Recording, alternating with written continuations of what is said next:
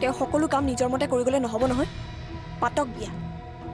আমাৰ দিবলৈতো একো নাই কৰিবলৈও নাই আমি ইয়াত চাহ খাবলৈ অহা নাই। কইনা চাবলৈহে আহিছো। ৰাগ অনুৰাগ উপভোগ কৰক। আজি নিশা ন বজাত।